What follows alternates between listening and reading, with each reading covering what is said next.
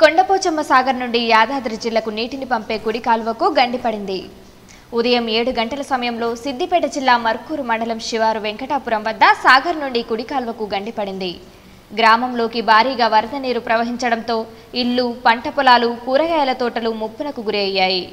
ఇటీవలే కొండపోచమ్మ జలాశయం నుంచి ఆలేరు నియోజకవర్గానికి నీటిని విడుదల చేశారు.